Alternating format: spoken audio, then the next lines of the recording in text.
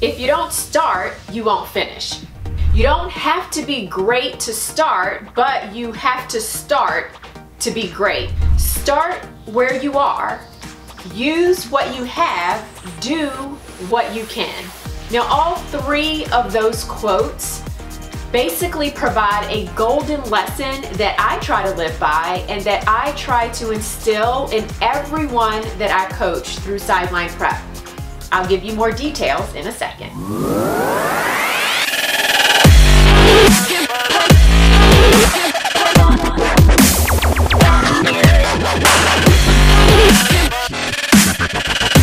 So first of all, before I get into the topic for today's video, I am obviously repping the Nationals gear.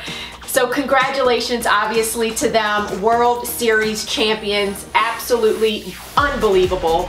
But they are a true example of the quote, you don't have to be great to start, but you have to start to be great. For those of you all that follow baseball, you know that the Nationals had a pretty horrible start and now look at where they are.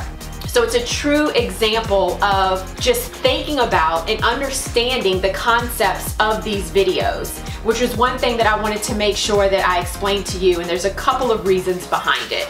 So the underlying message that I have for you is that if you don't start, you will never finish.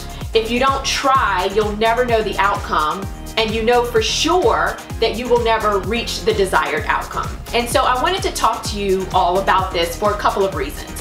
So number one, right now I am in the middle of Pro Cheer Playbook enrollment. We have taken applications. I've been on the phone with some amazing, amazing people. Partly I'm super excited because these are the type of people that I'm attracting um, along with my coaches and it's just really exciting the community that we're building together. So on these conversations, one, a couple of people have mentioned the fact that they were nervous to talk to me. so I just want to let everyone know that I'm super down to earth, or at least I feel like I am, and there's no reason to be nervous to talk to me. But kind of what stuck out even more than that was the fact that probably a half a dozen people mentioned that they weren't even going to apply for the program because they didn't think that they were qualified enough or they didn't think that they had enough dance experience or they didn't feel as though they were where they needed to be from a fitness level to apply. And I just want to remind you all that one, the Pro Cheer Playbook coaching program is just that. It's a coaching program. We don't expect you to come in at 100% with all 10s down um, the score sheet. We are here to help you and to coach you. But the other thing that I want to remind you is that if you don't apply, if you don't try, if you don't go, if you don't attend, if you don't stretch yourself, then you're definitely not going to get there and you already know the answer.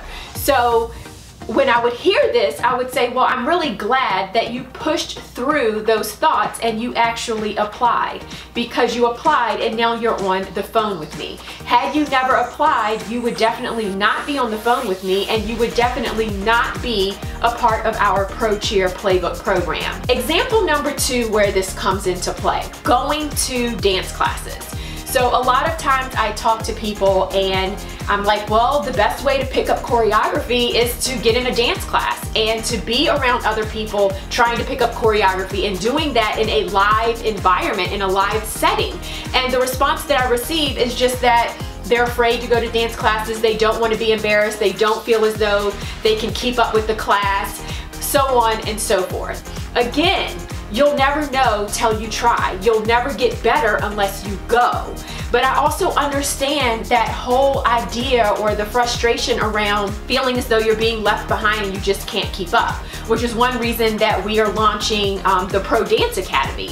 It's because I know how that feels. I know how it feels to be the person in the room that picks up the choreography the slowest. I get it. And so the Pro Dance Academy helps with that. It helps you learn technique and learn dances and kicks and all of these things that you need before auditions. It enables you to learn it in the comfort of your home, in the privacy of your home, so that you can improve those skills so that once you do go to dance classes, you feel even better. But you have to go. You have to try.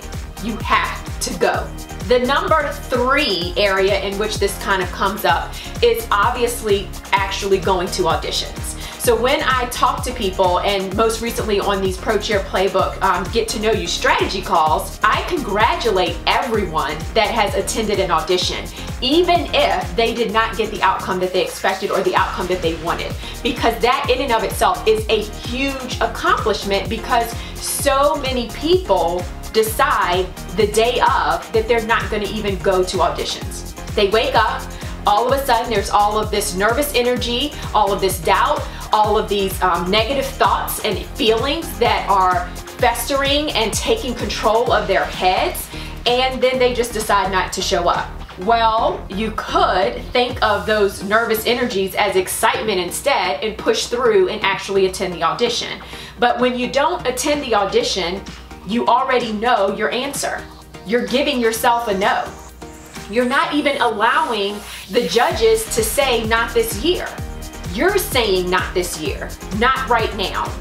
You're telling yourself no by not even trying.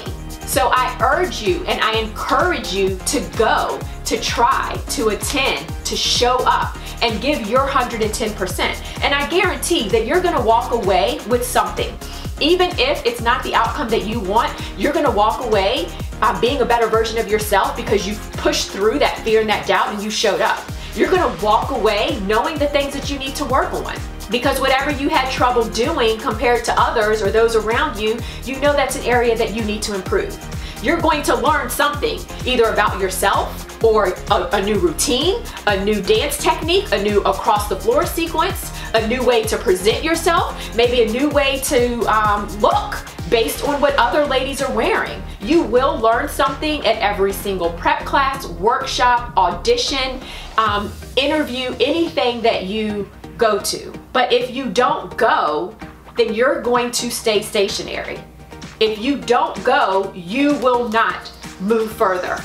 If you don't go, you will not reach your goals, you will not reach your dreams, you will stay status quo. And status quo is comfortable, but status quo is not excellence. Status quo does not get you to your dreams. Status quo does not make you a better person on the inside. Status quo does not allow you to show up as a better person on the outside. So why would you want to live in status quo every single day? If you don't start, you won't finish. You don't have to be great to start, but you have to start to be great. Start where you are.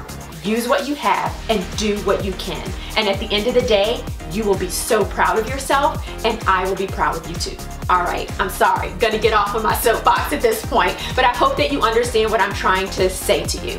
Just go for it, guys. Just do it. All right, that is it. I am GeNienne Samuels for Sideline Prep. Don't even know if I said that at the beginning of the video.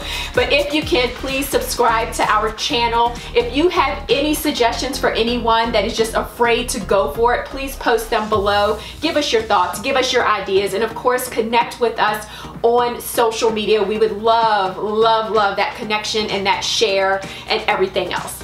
All right, we are here for you always, and that's it. Make it a great day. Signing off for Sideline Prep and all of our Sideline Prep coaches. Talk to you later. Bye.